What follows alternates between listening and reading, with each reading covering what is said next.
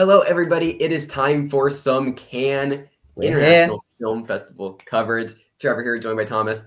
We're getting into festival season. We did this every single day coverage of um, Venice and TIFF Venice last TIFF, year. Yep. And we're going to do the same thing. We're going to do the same thing every day. If not, we might miss a day or two here and there, but like, Yeah, there's not single day. always important stuff on every day, but there's a lot of important stuff here at Cannes. So a lot of daily coverage for you, which should be fun. Yeah, yeah, yeah. Lots of videos. We've been on a bit of a break recently, but school's wrapping up. We're we're, we're Yeah. gonna get into some Cannes coverage. It's very exciting. Um, and today we had the opening night festivities and uh, the opening night film. The opening night film historically pretty bad. Um, Yes. and yeah. this year we had Maïwenn's, Jean Dubarry, uh, attracting a lot of attention because of its star, um, the very controversial figure in Johnny Depp. Yes. Yeah. Um, and looking at the review so far, it upheld the tradition of being not so great. Interestingly, this is one of the sort of films that probably would ge- generated the most talk. Not the most buzz, but the most talk out of Cannes. So it is clearly a pointed decision. Perhaps they want to get some eyes on Cannes Film Festival. I don't know. Maybe They that was a Johnny decision Depp why this there, was yeah. Exactly. But yeah, this definitely felt like a targeted sort of decision to let, yeah, let's do this one, which is clearly going to push talk, going to be divisive. And it has been. It's not disappointed in that regard.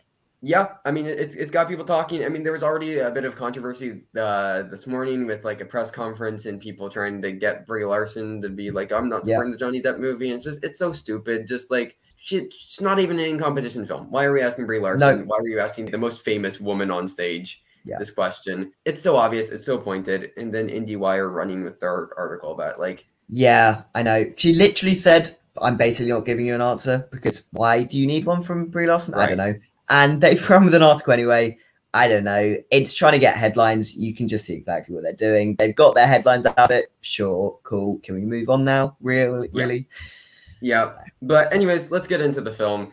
Uh, Yes. It's currently sitting. Uh, the rev- the reviews just dropped a couple of hours ago. It's currently sitting at a three point three on Letterboxd. Not great. Not great. Um, it's not great. Letterboxd is interestingly a bit higher than a lot of other things.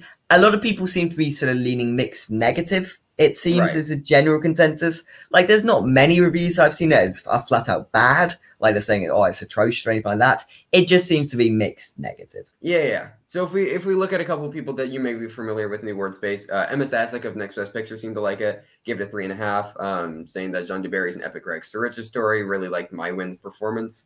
Um, liked uh, her chemistry with Depp. Uh, she seemed to think it worked.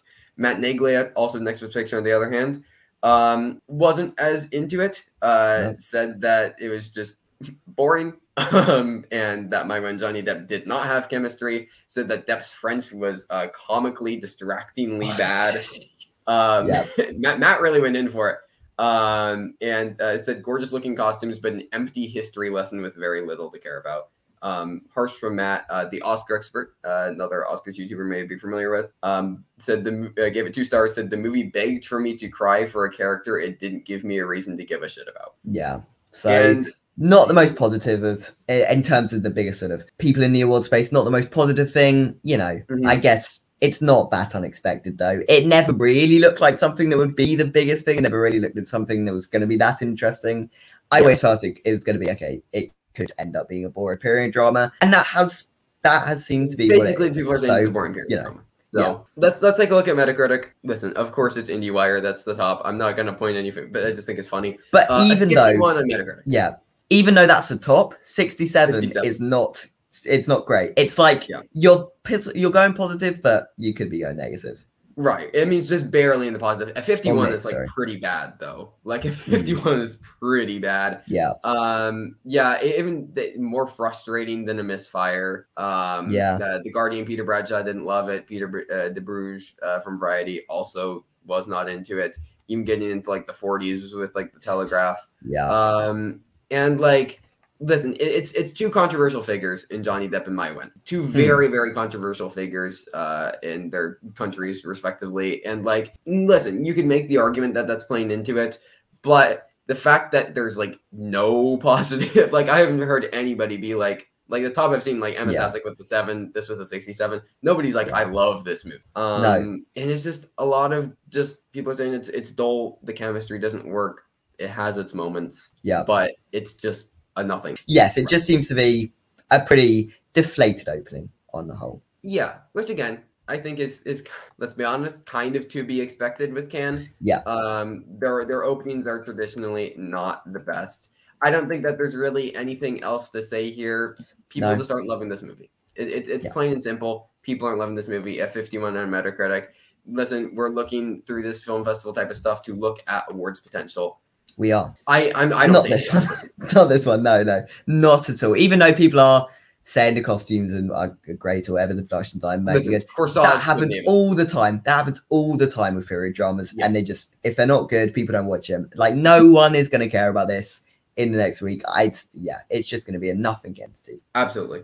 So that's really all we have to say. Not too many interesting things to start this off. Uh, tomorrow, Yeah. though, some stuff to look forward to. Um, Hirokazu Koreeda's new movie, Monster, uh, coming off of Should the be very back of um, Broker, which I didn't really love. Uh, didn't really pick up a lot of steam, but I mean, the man made Shoplifters. Exactly. Brilliant exactly. movie. So So we have that to look forward to. Um, Anselm, the new Wim Wenders movie. The very excited about that. I mean, director of Paris, Texas, and like Wings of Desire, like lots of great stuff there.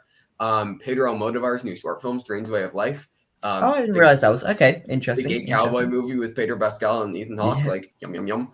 Um, and then um, Steve McQueen, uh, his documentary, Occupied City Yes. Yeah. also very interesting. Um, there's a couple other things, but like four pretty interesting stuff there. I'm I'm most interested to hear about um the new Koreeda film and the new Wim Wenders film. Yeah, I think Those are those the are the big things to yeah, those are definitely the big things to look out for there.